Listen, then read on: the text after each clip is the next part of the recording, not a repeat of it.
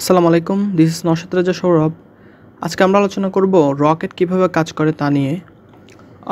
Rocket নিয়ে আমাদের অনেকেরই একটা কিউরিয়াসিটি থাকে যে আমরা সবসময় রকেট দেখি ভেতরকার মেকানিজমটা কি অথবা ফিজিক্সের কোন লগুলো মেনটেন করে আমাদের রকেটটা আসলে কাজ করে। তো আজকে ওই বিষয়গুলো নিয়ে একটু কথা বলব। তো শুরুতে আমরা একটু রকেট স্ট্রাকচারটা দেখি। আমরা রকেটকে নর্মালি এরকম একটা স্ট্রাকচারে পাই। সবচেয়ে উপরের অংশটা, যাকে আমরা বলব পেলোড পেলোড হচ্ছে রকেটের এমন একটা অংশ, যে অংশের মধ্যে আমরা অ্যাস্ট্রোনট যারা আছে, তাদেরকে রাখব। আর যদি রকেটটাকে আমরা মিসাইল হিসেবে যদি ইউজ করতে চাই, যেমন আমেরিকা, জাপানের মধ্যে একটা নিউক্লিয়ার ওয়েপেন হিসেবে একটা রকেটকে ব্যবহার করে ওখানে নিউক্লিয়ার রিয়াকশন ঘটাইলো, ঠিক আছে? সো ওই ব্যাপারে তখন যে রকেটটা তারা ইউজ করছে ও তখন সেই রকেটের পেলোডে তারা নিউক্লিয়ার রিয়াক্ট্যান্টগুলোকে রাখছিল আর কি। তো যদি মিসাইল হিসেবে ইউজ করে একটা রকেটকে, তাহলে পেলোডে আমরা তখন নিউক্লিয়ার রিয়াক্ট্যান্ট বা বোম টোমগুলো রাখব। আর যদি আমরা চাঁদে পাঠাতে চাই, মার্সে পাঠাতে চাই, অথবা কোনো একটা স্যাটেলাইটকে, কোনো পৃথিবীর কোনো একটা অরবিটে যদি রাখতে চাই, তখন পেলোডে আমরা ওই স্যাটেলাইটকে রাখব অথবা ওই অ্যাস্ট্রোনটগুলোকে রাখব। তাছাড়া পেলোড অংশের মধ্যে আমাদের যেই মেকানিজমগুলো থাকবে, রকেটের, ওগুলোও থাকবে। পরবর্তী দেখতে পাচ্ছি একটা ফুয়েল অংশ আছে। এখানে দেখা যাচ্ছে সবুজ কালারের একটা ফুয়েল অংশ থাকবে। ফুয়েল হিসেবে নর্মালি ক্যারোসিন অথবা লিকুইড হাইড্রোজেন ব্যবহার করা হয় রকেটের। এরপরে একটা থাকবে অক্সিডাইজার যে অক্সিডাইজার বলতে এই অংশে সবসময় অক্সিজেন থাকবে। তো অক্সিজেন কেন সবসময় রকেটের মধ্যে রাখা লাগে? এর একটা প্রশ্ন। আমরা রকেট ধরলাম, আমরা মার্সে একটা রোবার পাঠাবো। সো মার্সের যে পথ পৃথিবী থেকে, ওই পথে কিন্তু নর্মালি আমাদের বায়ুমণ্ডলের পরে কিন্তু আর কোনো বায়ুমণ্ডল থাকে না। সো বায়ুমণ্ডল যেহেতু থাকবে না, সেহেতু ওখানে কিন্তু অক্সিজেন বা এয়ারের উপস্থিতি থাকার কথাই না। সো যেখানে এয়ার নাই, অর্থাৎ এয়ারলেস যেই পথটুকু পাড়ি দিবে একটা রকেট ওই পথের মধ্যে রকেটটাকে তো চালায় নিয়ে যাইতে হবে, তাই তো? তো ওই অংশের জন্য আমাদের অক্সিজেনটা দরকার, এভাবে বলতে পারি। তাছাড়া ইনিশিয়াল স্টেটেও আমরা অক্সিজেনটাকে ব্যবহার করি, কিন্তু নর্মালি এয়ারলেস অংশে অক্সিজেনটা মাস্ট দরকার হয় আর কি। সো এখান থেকে ফুয়েল থেকে একটা অংশ যাবে, এরপর অক্সিজেন থাকবে অক্সিজেনের উপস্থিতিতে, ফুয়েলগুলো জ্বলবে। তো জ্বলার ফলে এখানে huge amount of enormous amount of thrust কী হবে? জেনারেট হবে। সো এই থ্রাস্টগুলো একটা ফোর্স কাজ করবে, একটা ফোর্স দিবে, ঠিক আছে? নিচের দিকে একটা ফোর্স দিবে, তার রিয়াকশন ফোর্স হিসেবে আমাদের রকেটটা উঠতে পারবে, ঠিক আছে? এটা হচ্ছে নর্মাল একটা বেসিক ইয়া মেকানিজম এগুলো নিয়ে সামনে আমরা আলোচনা করব। এরপর দেখা যাচ্ছে এখানে দুইটা বাল্ব থাকবে বা পাম্প অ্যান্ড ভাল্বস দেওয়া আছে। তো এগুলো কি করবে? নিয়ন্ত্রণ করবে। কতটুকু পরিমাণে ফুয়েল যাবে এরপর কতটুকু পরিমাণে অক্সিজেন যাবে, তাদের একটা অনুপাত তারা ঠিক করে দিবে। এই যে ফুয়েল এবং অক্সিজেন এগুলো পরবর্তীতে গিয়ে পৌঁছাবে কম্বাসন চেম্বারে তো এটা এমন একটা চেম্বার যেখানে কি হয়? এই দুইটা মিক্স হয়। মিক্স হয়ে কি করে? আমরা নর্মালি বলতে পারি বিক্রিয়া করে এখানে ইনর্মাস অ্যামাউন্ট অফ হিট বা থ্রাস্ট জেনারেট করে। তো হিটের ফলে থ্রাস্ট জেনারেট হয়। তো থ্রাস্টগুলো কি করে? একটা ফোর্স মাটির দিকে দিয়ে দেয় বা নিচের দিকে দিয়ে দেয়। তো পরবর্তীতে তার রিয়াকশন ফোর্স হিসেবে রকেটটা উড়ে চলে যায়। তো এটা একটা নর্মাল বিয়া নর্মাল হিসাব। পরবর্তীতে আমরা যদি এখানে আরেকটা অংশ দেখি, তো এখানে দেখতে পাচ্ছি কি, দুইটা অংশ। এটা তো নর্মাল আমরা আলোচনা করছি যে রকেটের ব্যাপারটা। কিন্তু এখানে একটা ব্যাপার আছে, এখানে নতুন একটা চিত্র, দুইটা চিত্র দেখতে পাচ্ছি এখানে। সো আমরা এই যে রকেট এটা নর্মালি এর আগে যে চিত্রে আলোচনা করছি, ওই চিত্রটা কিন্তু ভিতর থেকে এমন। যে লিকুইড ফুয়েল থাকবে, তো বলছি যে একটা ফুয়েল লিকুইড বলতে এখানে বোঝাচ্ছে হচ্ছে লিকুইড হাইড্রোজেনকে আর কি। এরপর একটা লিকুইড অক্সিডাইজার অর্থাৎ অক্সিজেনটা আমরা লিকুইড অবস্থায় থাকবে। এরপর পাম্পস থাকবে দুইটা, এরপর কম্বাস্টন চেম্বার থাকবে। তো যেখানে এই দুইটা এসে মিলিত হয়ে এখানে কি করবে? বিক্রিয়া করবে। তো নর্মালি তার কারণে এখানে কি থ্রাস্ট জেনারেট হবে, এটা নর্মাল কিন্তু আমরা একটা রকেটে কিন্তু এভাবেই শুধু একটা অংশ দেখতে পাই না। তো এটার সাথে কিন্তু লাগানো আরও দুই তিনটা অংশ থাকে। এগুলো হচ্ছে রকেটকে আরও বেশি পাওয়ারফুল করার জন্য ইউজ করা হয়। সো ওই প্রপার্টি বা ওই পোর্শনটুকুকে আমরা বলব সলিড প্রোপোলেন্ট তো প্রোপোলেন্ট বলতে এমন একটা অংশ যেটা অ্যাটাচ করা হয় রকেটের সাথে, রকেটকে আরও বেশি ভ্যালোসিটি দেওয়ার জন্য। সো সলিড প্রোপোলেন্টে কিন্তু সলিড ফুয়েল অ্যান্ড অক্সিডাইজার থাকবে, একটু সলিড রূপে থাকবে আর কি। এখানে তো লিকুইড রূপে ছিল। তো এরা কি করবে এখানে বিক্রিয়া করে? এটাও কি সিমিলারলি এখানে থ্রাস্ট জেনারেট করবে যেটা নিচের দিকে একটা প্রেশার দিবে বা ফোর্স ক্রিয়েট করবে তার রিয়াকশন ফোর্সের কারণে এটা উপরের দিকে এটাকে ঠেলে নিয়ে যাবে। তো এটা একটা সাপোর্টিভ ফ্যাক্টর হিসেবে চিন্তা করতে পারি। তো এটা হচ্ছে সলিড প্রপোল্যান্ট একটা রকেটে যে দুই তিনটা লাগানো থাকে সাথে। এবার আমরা দেখব এই যে মিক্স মিক্সচারগুলো কীভাবে কাজ করে? যে লিকুইড ফুয়েল এবং অক্সিডাইজারের থেকে অক্সিজেনটা কীভাবে কাজ করে? তো আমরা এখানে দেখতে পাচ্ছি যে ক্যারোসিন এখানে ইউজ করা হয়েছে, এরপর লিকুইড অক্সিজেন তো এরা দুইটা দেখা যাচ্ছে এখানে নলের মাধ্যমে মিলিত হচ্ছে। এই পাম্প কী করে? তাদেরকে নিয়ন্ত্রণ করে। কতটুকু পরিমাণ আমরা এখান থেকে দিব বা কি পরিমাণে এটাকে থামাবো বা কীভাবে ইউজ করতে হবে, ওই মেকানিজমটা হালকা পাম্পগুলো কন্ট্রোল করে থাকে। তো পরবর্তী দেখা যাচ্ছে এখানে, এই যে এখানে থ্রাস্ট জেনারেট হচ্ছে কিন্তু। তো এগুলো কিন্তু নিচের দিকে একটা ফোর্স দেয়, যার ফলে রিয়াকশন ফোর্সে রকেটটা উপরের দিকে যায়। পরবর্তীতে আমরা দেখব কীভাবে আসলে রিয়াকশন ফোর্সটা দেয় আর কি।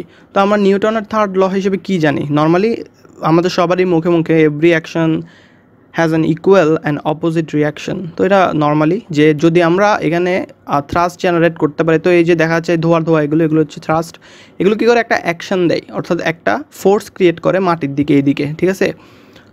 তার বিপরীতে যেই রিয়াকশনটা পাই, ওইটার মাধ্যমে আমাদের রকেটটা কি করে? একটা ভ্যালোসিটি পাই রকেটটা মুভ করতে পারে। তো নর্মালি এই নিউটনের থার্ড লয়ের ওপর ভিত্তি করে আমাদের রকেটগুলো আসলে কাজ করে। এটা খুবই সিম্পল একটা প্রসেস এবার আমরা দেখব যেই রকেট নর্মালি আমাদের সোজাই কিন্তু উঠে না। এটা কিন্তু আসলে তার যে বাক যে গতিপথ, সেটার মধ্যে কিন্তু বাক থাকবে। অর্থাৎ রকেটটা এভাবে আস্তে আস্তে ওঠার পরে এভাবে করে বাঁকা হয়ে যায়। ঠিক আছে? এমন একটা চিত্র আমরা দেখব এখন। দেখতে পাচ্ছি এই রকেটটা, আমরা সচরাচর রকেট লঞ্চিং দেখি যে রকেটটা আস্তে আস্তে একটু উপরে, একটু হালকা করে এলে উঠে, এরপরে আস্তে আস্তে বেঁকে যায়। দেখতে পাচ্ছি এটা। তো বাঁকার দরকারটা কি? এটা একটা প্রশ্ন, ঠিক আছে? তো বাঁকা বাঁকে কেন রকেট? এরকম একটা প্রশ্ন আমাদের কাছে আসার কথা। কারণ যদি একটা রকেট সোজা উঠতে থাকে, তখন একটা সময় আসবে যে রকেটের ফুয়েলটা শেষ হয়ে যাবে, ঠিক আছে? তখন কিন্তু এটা গ্র্যাভিটির প্রভাব আবার নিচে পড়ে যাবে। ঠিক আছে? অর্থাৎ স্ক্যাপ ভ্যালোসিটিটা অর্জন করতে পারে না। নর্মাল কি? ফুয়েল দিয়ে আর কি একটা রকেট। তো সেক্ষেত্রে রকেটটাকে একটু বাঘ দেওয়া হয়। তো বাঘ দেওয়ার কারণ হচ্ছে গ্র্যাভিটিটাকে একটু ইউজ করে।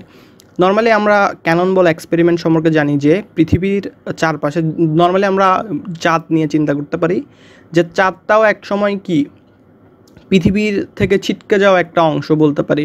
ওই অংশটাই কি পৃথিবীকে কেন্দ্র করে ঘুরতেছে? তো এটা, এটার জন্য পৃথিবী চাঁদটাকে নিজের দিকে টানে, কিন্তু চাঁদ কিন্তু একটা গতি ছিল আগে থেকে, তো ওই গতিতে যাইতে চাই। সো পৃথিবী এক পাশে টানে, ধরলাম পৃথিবী এদিকে টানতেছে, চাঁদ যাইতে চাই এদিকে। তো এই দুইটার মাঝখানে একটা লব্ধি ক্রিয়েট হয়, তো লব্ধি ক্রিয়েট হওয়ার ফলে সে এদিকে যায়। আবার পৃথিবী এদিকে টানে, চাঁদ কিন্তু তার আগের বেগ অনুসারে এদিকে যাইতে চায়, তো এদিকে একটা ভ্যালোসিটি একটা কি, লব্ধি ক্রিয়েট হয়। সো ওই লব্ধি বরাবর চারটা যায়। তো এভাবে করে যদি চাঁদের রোটেশনাল ফিল্ড চিন্তা করি চারটা একটা ইলিপটিক্যাল পাতে সূর্য পৃথিবীকে কি করে রোটেট করতে থাকে আর কি। নর্মালি এভাবেই পৃথিবীর চারপাশে অনেক ধরনের অরবিট আছে। ওই অরবিটগুলোতে আমরা স্যাটেলাইটগুলোকে দিয়ে আসি আর কি। বা একটা স্যাটেলাইটকে ওই অরবিট পর্যন্ত পৌঁছে দিতে পারলে ওটা কিন্তু আপনা, আপনি কি পৃথিবীকে রোটেট করতে থাকবে। তো এই যে একটা ফিল্ড আছে, ঠিক আছে? পৃথিবীর চারপাশে যে ফিল্ডগুলোতে কোনো একটা বস্তু যদি থাকে, সে পৃথিবীকে একটা নির্দিষ্ট ভ্যালোসিটি নিয়ে কি করবে? রোটেট করতে থাকবে। এটা হচ্ছে পৃথিবীর গ্র্যাভিটেশনাল পুলের কারণে। সো আমরা রকেটটাকে কিন্তু ওরকম একটা কি? একটা অরবিটে রেখে আসি। ওই অরবিটে যখন রাখব, তখন এটা আপনা, আপনিই ঘুরতে থাকবে। হুম উইদাউট এনি ফিউয়েল ঠিক আছে? তো এটা কী করবে? আপনা আপনি ঘুরতে থাকবে পৃথিবীর চারপাশে রোটেট করতে থাকবে। এটা পৃথিবীর গ্র্যাভিটেশনের পুলের কারণে আর রকেটের তো একটা ক্ষুদ্রতম, এই যে আমরা এখানে যে দিছি যে তাকে একটা তো ভ্যালোসিটি দেয়াই আছে এই যে থ্রাস্টগুলোর মাধ্যমে। ওইটার মাধ্যমে এটা আস্তে আস্তে ঘুরতে থাকবে, কিন্তু এখানে বেগ কিন্তু বৃদ্ধি পাবে। তো নর্মালি যেভাবে সূর্য চাঁদ চারপাশে ঘুরতে আসে, ও এই রকেটটা এভাবে ঘুরতে ঘুরতে একটা সময় এই যে গ্র্যাভিটেশনাল পুল আছে, ওটাকে কাজে লাগাবে। তো ওই ব্যাপারটা একটু দেখব এখন আমরা। সো পরবর্তী চিত্রে দেখতে পাচ্ছি যে রকেটটা কি মুভ করতেছে। ধরতে পারি যে রকেটটা মোশন আছে। এখন মোশনের জন্য একটা কথা বলে রাখি। এই যে পেছনে একটা অংশ লাল দেখতে পাচ্ছি। এই অংশটা কিন্তু কি? নড়তেছে। তো এটাকে নজল বলা হয়, যেটা দিয়ে থ্রাস্টগুলো বের হচ্ছে। ঠিক আছে? তো এই নজলটা নড়ানোর মাধ্যমেই রকেটটাকে আমরা সোজা থেকে বাঁকাইতে পারি, ঠিক আছে? নর্মালি এই অংশটা একটু বলার জন্য এটা অ্যাড করা হয়েছে সো নজলটাকে আমরা ঘুরাই ঘুরাই বা বাঁকিয়ে বাঁকিয়ে কন্ট্রোল করে আমরা রকেটটাকে কি? রোটেট করাতে পারি বা সোজা থেকে বাঁকাইতে পারি। তো আমরা এবার দেখব কীভাবে আসলে অরবিটে নিয়ে যাওয়ার পর রকেটটাকে, রকেট নিজে থেকে একটা ভ্যালোসিটি ইনক্রিজ করে। তো আমরা এখানে এই চিত্রটা দেখতে পাচ্ছি। চিত্রটা আমরা দেখতে পাচ্ছি যে যে গোলাপি কালার যে পাতটুকু, এটা হচ্ছে আমরা চিন্তা করতে পারি একটা রকেটের পাত।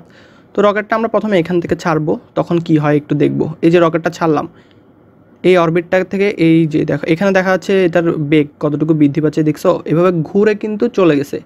সো এই অরবিটের কারণে পৃথিবী যে ওকে টানতেছে, তো ও একটা পাত কিন্তু ক্রিয়েট করছে। ক্রিয়েট করার ফলে এই যে এখানে অরবিট ছিল, ওই অরবিটের মাধ্যমে তার কিন্তু ভেলোসিটি ইনক্রিজ হয়েছে। ইনক্রিজ হয়ে সে কিন্তু আরেকটা অরবিটে চলে গেছে। এভাবে একটা অরবিট থেকে অন্য একটা অরবিট এভাবে ঘুরতে ঘুরতে কিন্তু স্কেপ ভ্যালোসিটির মাধ্যমে পৃথিবীর যে গ্র্যাভিটেশনাল পুল আছে, ওই ওটা থেকে কিন্তু বের হয়ে যায়, বের হয়ে অন্য একটা ডিরেকশনে চলে যায়।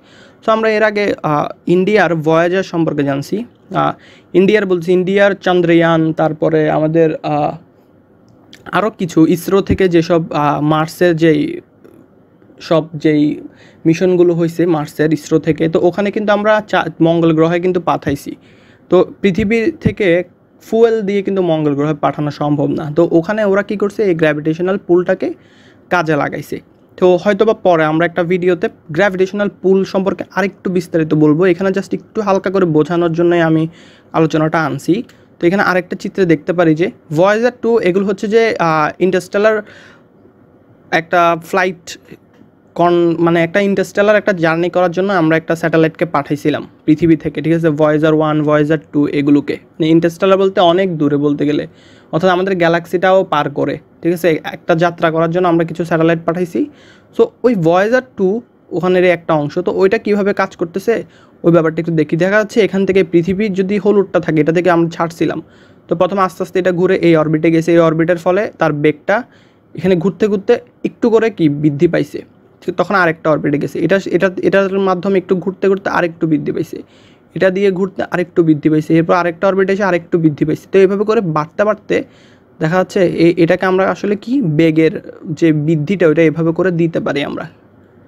এখানে দেখা যাচ্ছে বেগটা অনেক বেশি বৃদ্ধি পাচ্ছে। তো এভাবে করে আমরা আস্তে আস্তে এটার পাথ চেঞ্জ করতে পারি রোটেশনটা চেঞ্জ করতে পারি, এভাবে গ্র্যাভিটিটাকে কাজে লাগাই আমরা কি করতে করতে পারি, আমরা করতে পারি ইনর্মাস অ্যামাউন্ট অফ ভেলোসিটি আসলে জেনারেট করতে পারি, একটা স্যাটেলাইট বা যে কোনো একটা রকেটের মধ্যে আর কি। তো এভাবে করে আমরা আসলে দূর দূরান্তে বিভিন্ন ধরনের ব্যাপার, বিভিন্ন ধরনের স্যাটেলাইটগুলোকে পাঠাইছি। দূর দূরান্তে বলতে আমরা নর্মালি এই যে ভয়েজারগুলোই হচ্ছে সবচেয়ে বেশি পরিমাণ দূরে গেছে। ইন্টারস্টেলার ফ্লাইট করছে, এরা হচ্ছে আমাদের সোলার সিস্টেম থেকেও বাইরে চলে গেছে। তো এরা এভাবে গ্র্যাভিটিটাকে কাজে লাগাইছে, ঠিক আছে? সো এগুলো ছিল একটু ক্ষুদ্র আলোচনা। আশা করি আমরা এই যে রোটেট রোটেশনগুলো এরপরে গ্র্যাভিটেশনাল পুলের কারণে যে এভাবে হচ্ছে, তো এই ব্যাপারগুলো নিয়ে হয়তো বা আরেকটু ডিটেল আর একটা ভিডিও হয়তো সামনে আলোচনা করব। সো ধন্যবাদ সবাইকে। সাথে থাকার জন্য। সালাম আলাইকুম।